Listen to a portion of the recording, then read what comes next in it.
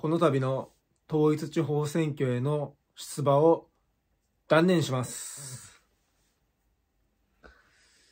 はい、えー、どうも、都内山本です。えーこの度は、えー私の記者会見にですね、お集まりいただき、えー誠にありがとうございます。はい。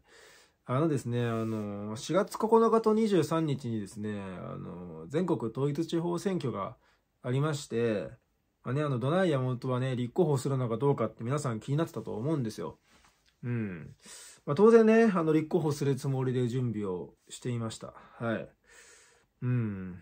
あのね、結構、まあ出馬するものだと思ってね、あの、頑張ってくださいっていう DM とかもいただいてたんですけれども、あの、この度私はですね、あの、出馬を断念します。今回は出ません。はい。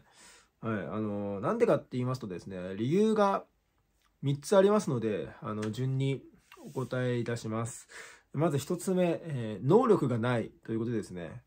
あの、僕はですね、あの、多分選挙に受かったとしても、あのね、あの、市長のね、あの、ま、首長として働いたりとか、一議員としてするだけの能力がないと思いますね。やはり社会経験もほとんどないですし、やっぱ頭もね、良くないので、なんか、そういうね、なんか議会とかでなんか質問したりだとか、なんか質問された時に答えるとか、そういう能力がないかなと。ディベートとかもできないし、そもそもね、あの、絶対的な能力に欠けているということがあります。なので、そんな能力が欠けてる人物がね、当選するのではなく、しっかりとね、あの、地方のため、都市のため、果ては国のためとか、そういったみんなの役に立ちたいというふうに思い、かつね、今までの仕事とかの実績がある人、そういう人がやっぱりなるべきだと思いますね。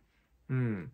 やっぱりその選挙に当選する人っていうのはね、何者、何かを成し得た人じゃないとダメだと思うんですよ。お医者さんをね、やりましたとか、どういうことの会社でこういうことを成し遂げましたみたいな、そういう人が世のためにね、あの、尽くすような人になるべきであって、なんか僕みたいな何にもやってない人間がね、人のために働きますの無理だと思うんですよね。だから、あの、能力がないので、今回は出馬いたしません。はい。で、えーもう一つです。もう一つはですね、あの、政策がないということです。はい。あの、特にこれといった政策がないんですよね。やっぱり選挙に立候補する人っていうのはマニフェストがあって、それをね、あの当選したらたこれを実現しますっていうのを掲げて出るんですよ。でね、あの、もちろん選挙に当選した人、選挙に当選した人は、全員一人残ることなくそのマニフェストをね、あの、実現するために動くわけなんですけれども、まあ僕はね、そのマニフェストがないと。うん。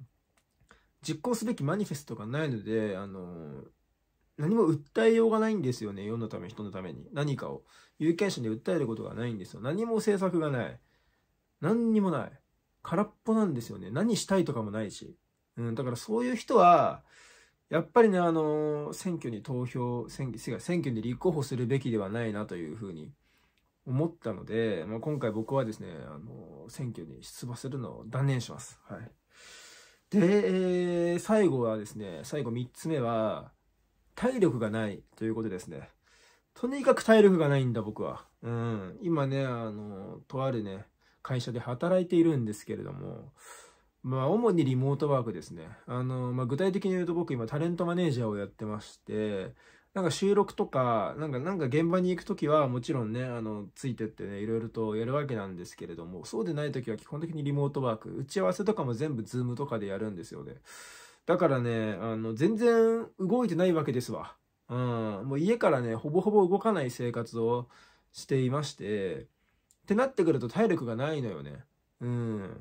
もうびっくりするもん。びっくりするぐらい体力ないよ。たまにさ、遊びとかでね、あの、休みの日に遊びで外に行くときとか、帰ってきたらもう疲れ果てて、もうベッドにダイブしてるからね。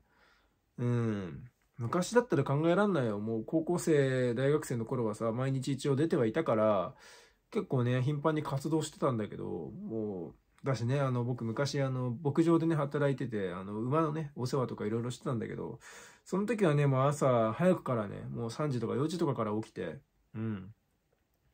夜までね、ずっと馬と共に生きて、休みもね、月に3日、3日、4日ぐらいしかないみたいな感じでね、バリバリ動いてたから、その時は体力があったんだけど、まあ、このコロナ禍でね、うん、リモート主体となりまして、あと年齢もね、僕今28でね、まあ、荒さになりまして、本当に動けなくなってると、体力がないということで、これではね、あの、議会に出席できないんですよね。あの、議会って今、リモートじゃできないんですよ。なんかね、あの、ガーシーとかいう変な人がね、なんかリモートにしろって言って、なんかドバイに逃げてるけど、なんかあのー、リモートではないんですよね、今。うん、だから、本当にね、あの、議会に出席できる自信もないし、あとそもそも立候補したら、毎朝、なんか駅とかで演説するんでしょ？とかね、なんかいろいろと、なんか議員として活動するためにいろんなところ訪問したりとか、外に出て足を運ぶ仕事、なんかね、出張とかするんでしょ？知らんけど。うん、多分それやる体力がないんですよね。だから、ちょっと無理かなっていうふうに思いました。なので、まあ、能力がない、政策がない、体力がない、まあ、以上の点で僕は今回立候補しません。はい。あの、ガーシー以下です。うん。ガーシーはね、政策はあったからね、一応。ガーシーは政策はあったから。なんかあの、コロナで、なんコロナじゃない、国会で寝てる議員を叩き起こすとか、なんかリモートにしろだとか、なんか国会の闇を暴きますとか、まあその内容云々は置いといて、とりあえず政策はあったんですよ。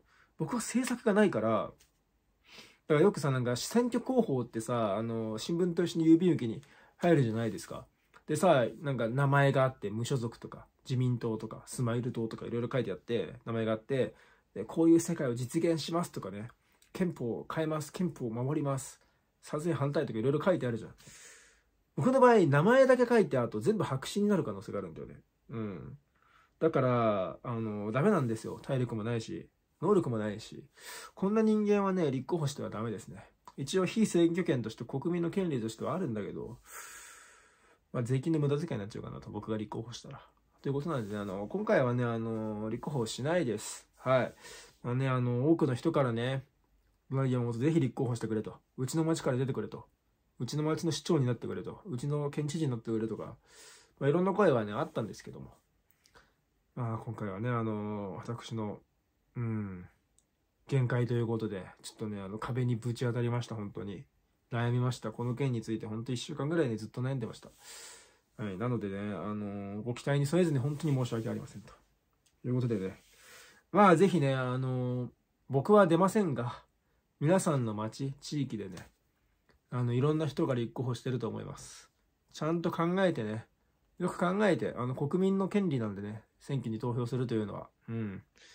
先人たちが勝ち得た権利ですのでね、ぜひともね、立候補してる選立候補者を選んで、自分が一番ね、この人に期待しますという人に投票して、まあ、それぞれの地域、町が活性化することをね、祈っています。まあ、僕はね、あの、立候補はしませんが、投票には行きます。はい。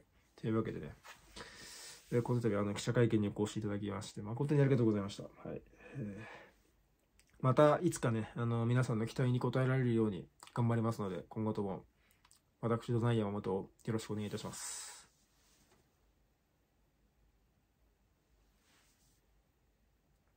はい、